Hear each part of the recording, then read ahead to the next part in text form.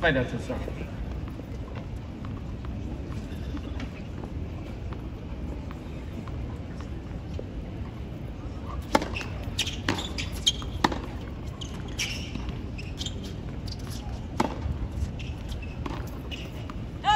You we just push, uh, push each other every day, and it's nice to, you know, finally to, you know, get some good wins here. Yeah, I mean, it feels really good. He's a, you know, one of the best players in the world out there, and I played him last year at U.S. Open. I knew what to expect, and I'm happy with the way I played today and the way I competed. How much did that help you, that experience against him last year at the US Open? It helped a lot. Um, I lost in four sets to him, and I knew, you know, kind of what he likes and doesn't like, and it always helps playing someone than playing again the second or third time.